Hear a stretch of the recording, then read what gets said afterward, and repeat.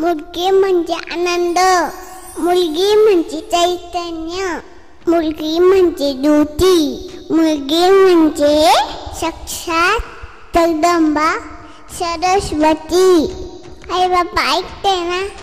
मी तुमची मुलगी बोलते. मला हे शुद्ध पाहिजे. फुलांचे रंग पाखरांचे आवाज हे सर्व अनुभवायचे. जन्माला येऊ द्या मी तुमच्या वंशाची पंथी होईल मी तुमच्या आधाराची काठी होईल मी तुमची मुलगी. मुलगी मुलगी. माझे